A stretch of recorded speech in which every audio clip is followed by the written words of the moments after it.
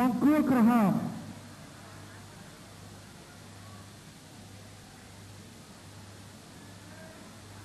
ទម្ងន់75គីឡូក្រាមមានអាយុ24ឆ្នាំធ្លាប់ប្រកួតបាន150ដងឈ្នះ142ដងចាញ់4ដងស្មើ4ដង លើកនេះជាអ្នកដណ្ដើមយកខ្សែក្រវ៉ាត់ក្បាច់ប្រដាល់បុរាណពិភពលោកបាទក្បាច់ប្រដាល់សេរីពិភពលោកទេណាសំកែតម្រូវបន្តិចបាទហើយជាកីឡាករនៅក្នុងសមាគមកីឡាប្រដាល់មជ្ឈមណ្ឌលកីឡានៃកងយុទ្ធពលខេមរៈភូមិន្ទនៃព្រះរាជាណាចក្រកម្ពុជាលោកលោកស្រីនិងនាងកញ្ញាសូមស្វាគមន៍កីឡាករអភិរាជ ជង្គង់ទឹកកែងឆេះអេពីផា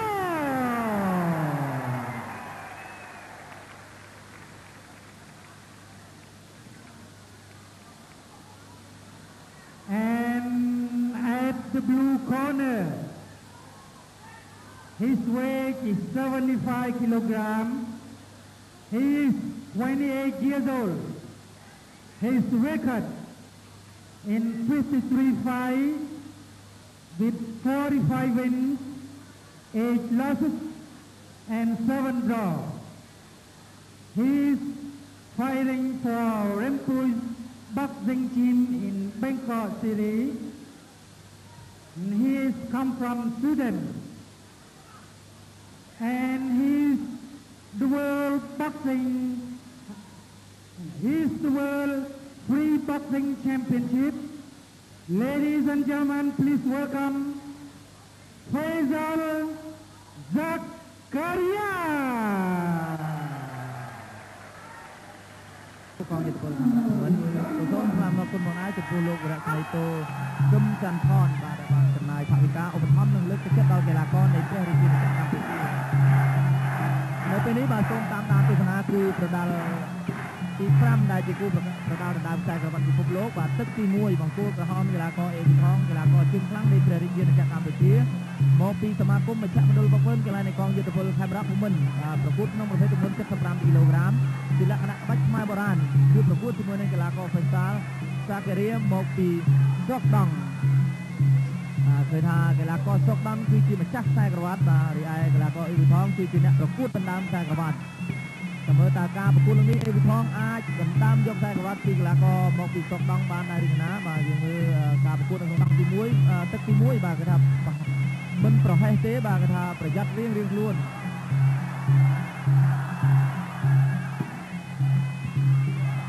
បាទខ្ញុំបាទក៏សូមជម្រាបដែរថាភោជនីយដ្ឋានមីលីនេបាទសូមអរគុណហើយអញ្ជើញបាទកីឡាករអេវូថងអឺ ជប់លៀងនៅភោជនីយដ្ឋានល្ងាចនេះបាទនៅផ្លូវលេខ 6A សូមអរគុណបាទហើយក្នុងនោះបាទក៏មានការឧបត្ថម្ភពីអាយដាមឧត្តមសេនីយ៍ត្រីកាន់បញ្ញវុធជំនួយការសម្ដេចនាយករដ្ឋមន្ត្រីហ៊ុនសែនបានបានឧបត្ថម្ភនៅថវិកាចំនួន1លានរៀលផងដែរដល់កីឡាករអេភូថង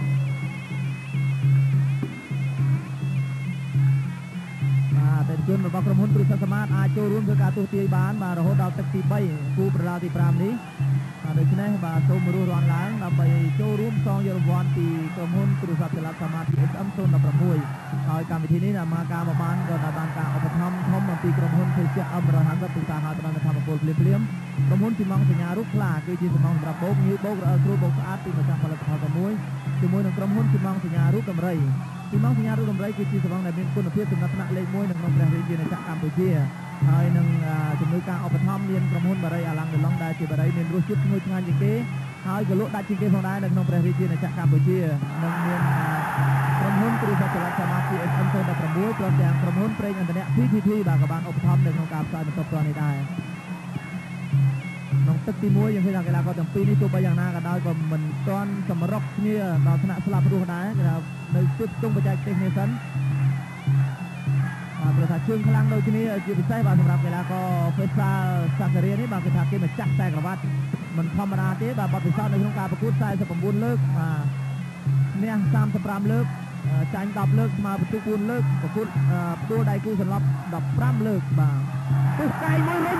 ពេញតាមជង្គង់បង្កើតបាទ ឥឡូវនេះចាប់អបឡើងកែងពីក្រោយកែងបត់មួយទៀតកីឡាករអេថងបាទទល់ជង្គង់កែងតងវិញបាទទល់នឹងជង្គង់លោកកញ្ញាកដាលបំបាយចេញមិនចង់ចេញចាប់ទឹកទី1ទៅដល់ទី5បាទទឹកទី2ជាងចូលដល់ទឹកទី2ហើយរវាងកីឡាករអេពូថងជាមួយនឹងកីឡាករ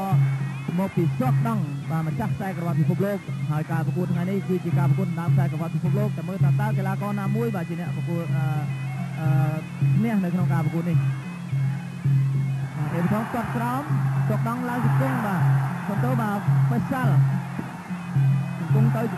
ជង្គង់មកគ្រាជាប់ឡើងជង្គង់ស្ដាំចូលល្អណាស់អេពូថងជង្គង់ស្ដាំមួយជង្គង់ទៀតជាបកកកីឡាករបេសាល់សាការីជាប់តែម្ដងលោកអញ្ញាកណ្ដាលោកជ័យបញ្ជាក៏ត្រូវបានទទួលអំណោយលើកទឹកចិត្តពីទស្សនិកជនរបស់យើងដែរព្រោះថាលោកជាអញ្ញាកណ្ដាលមួយបាទគឺចំណានតែម្ដង សូមជម្រាបដែរថាលោកនាយកវិទ្យាស្ថាន Universal English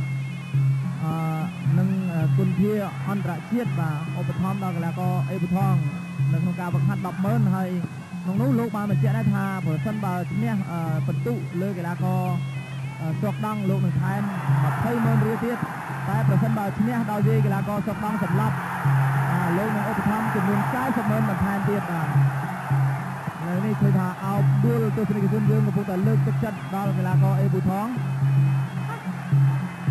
បាទតែជនរបស់ក្រុមហ៊ុនទូរស័ព្ទសមាននៅឱកាសមួយទឹកទៀតបាទសម្រាប់កា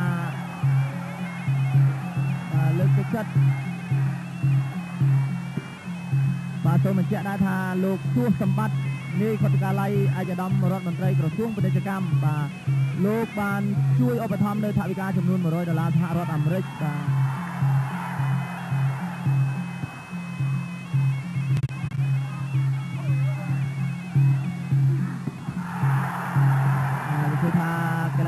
ឡាកត់កាត់ចានមួយដេញតាមទៅលើកីឡាករទៅកំពុងតែរកឱកាសកែងបាត់ឡើងជង្គង់ទៅជង្គង់មកបាទបដូរជង្គង់រៀបរៀបកែងទៅអត់ចូលអេមថងវាកែងសងមកវិញបាទលោកជើងបញ្ជាមកបំបែកចេញ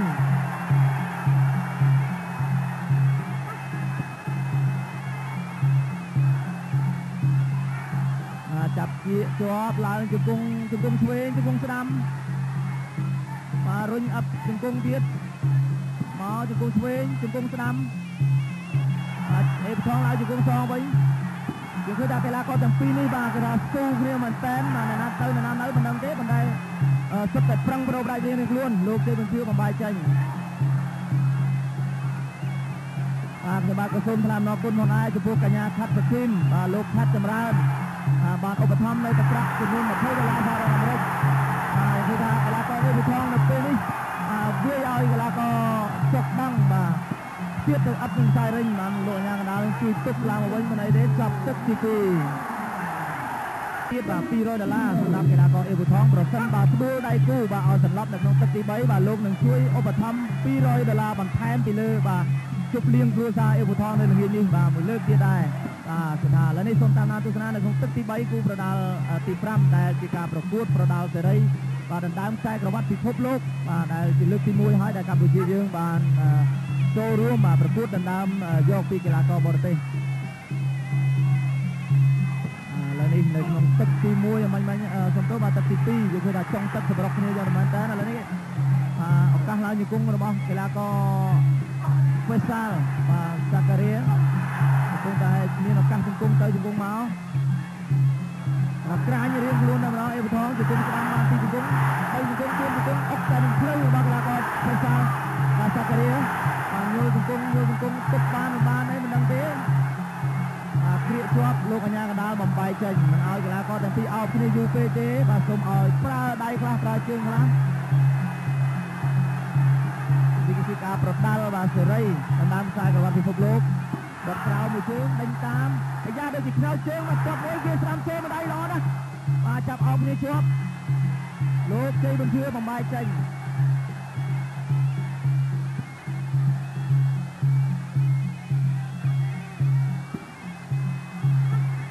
សូមជម្រាបដែរថាម្ចាស់ហាង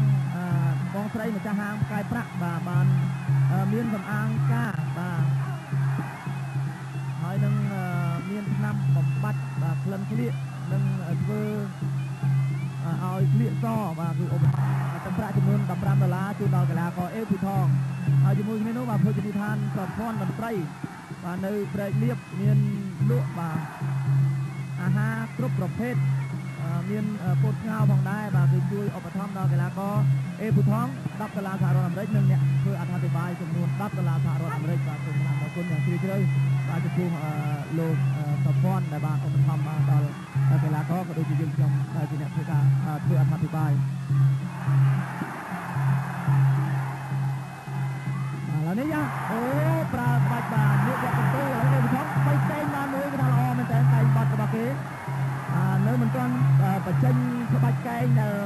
ទស្សនិកជនបាទដាក់តែងតែជម្រាបឲ្យធ្វើការវឹកហាត់គេថា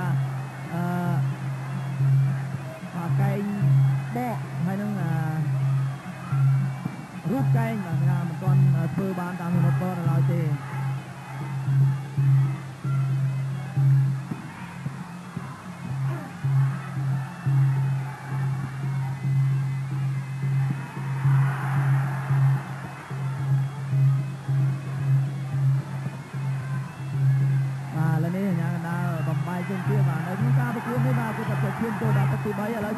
ទឹកទី3ទៅហើយ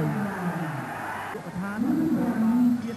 បានឧបត្ថម្ភនៅម៉ូតូវីវ៉ាបាទថ្មីមួយគ្រឿងជូនដល់កីឡាករអេភូថងផងដែរបាទដូច្នេះតាំងនាមឲ្យស្ថានីយ៍ទទួលកងយុទ្ធពលខេមរៈភូមិន្ទពល5ក៏ដូចជាសហព័ន្ធកីឡាប្រដាល់កម្ពុជាស្ម័គ្រចិត្តនិងកីឡាករផ្ទាល់បាទសូមថ្លែងអំណរគុណផងដែរចំពោះឯកឧត្តមនាយឧត្តមសេនីយ៍ផ្កាយនាយពួនបាទហុកឡុងឌីដែលបានយកចិត្តបាទទុកដាក់និងជួយឧបត្ថម្ភបាទជា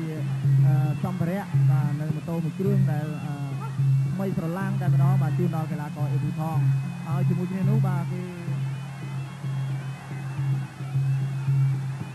លោកវរៈស្នេហ៍ឯកម៉ែនរ៉ាបាទ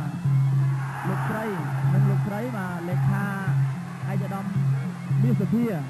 បានឧបត្ថម្ភនៅថវិកាចំនួន100000រៀលដែរជូនដល់កីឡាករអេភូថង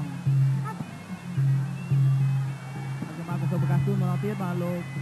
សុកហុងបាទក្រុមហ៊ុនបុងហុងបាទគឺបាន ឧបត្ថម្ភនៅថវិកាចំនួន300ដុល្លារសហរដ្ឋអាមេរិកជូនដល់កីឡាករអេភូថងបាទសូមទូរស័ព្ទទៅកាន់លេខ016 86 6 4ដងបាទពីនេះមកឈានចូលមកដល់ទឹកទី4ហើយសម្រាប់គូប្រដាល់បាទទី5ដែលជាគូប្រដាល់ដណ្ដើមខ្សែក្រវ៉ាត់ពិភពលោកបាទប្រដាល់សេរី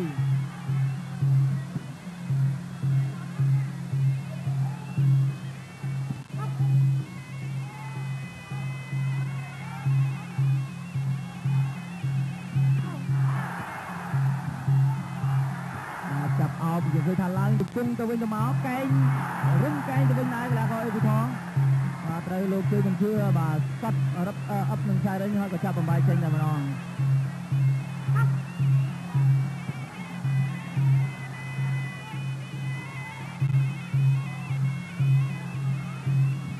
ះគឺកាយាមួយជើងទៀតមកលើកីឡាករថងទឹកផុតរហូតបាទសំណាងណាអេប៊ូថងទឹកសងវិញដេញតាមអេប៊ូថងនិយាយស្ដាំមួយដៃ ចាប់ទាញឡើងជង្គង់ពីក្រោយការទេអត់ទៅនឹងខ្សែរឹងលោកជើបញ្ជឿបំបាយចេញទៀតបាទយើងឃើញថាការប្រកួតនៅក្នុងទឹកទី3នេះបាទគឺថាស្វិតស្វាញមែនតើសម្រាប់កីឡាករទាំងពីរ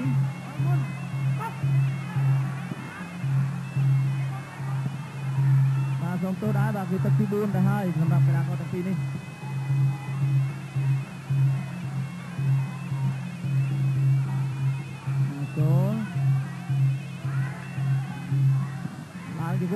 ង់ស្ដាំជង្គង់ស្ដាំមួយជង្គង់ទៀតបាទភាសាសាការីអឺថងយកជើងទប់ចន្លោះផ្លូវបណ្ដោយកីឡាករអឺជាប់ដងមកធ្វើឯកាទេ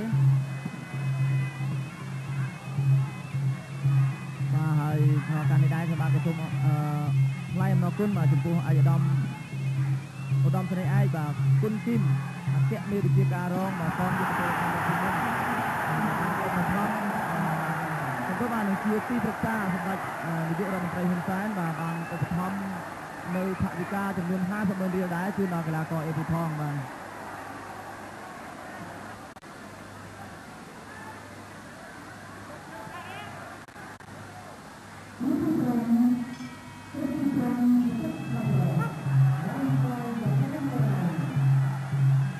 សូមតាមដានទស្សនាទឹកទី5ដែលជាទឹកប្រាច់ព្រាត់រវាងកីឡាករអេស៊ូថងបាទហើយនិងកីឡាករម្ចាស់ខ្សែក្រវ៉ាត់ពិភពលោកគាត់ក្រោមមួយជើងដូរចូលមកតែម្ដងគេថាចូលទាំងម្ដងកីឡាករអាស្រកដងវេសាលសាការី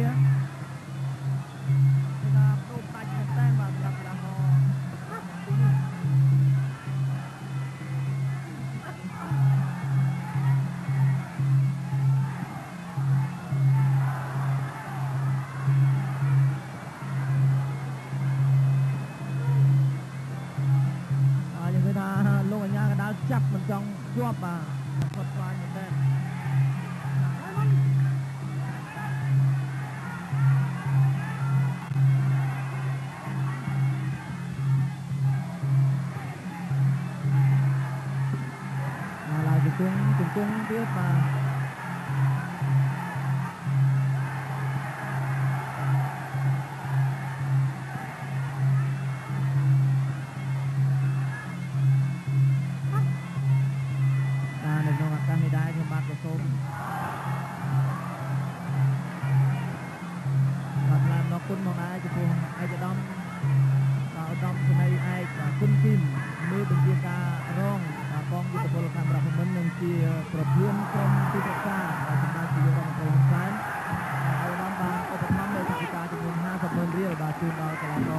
ភូថង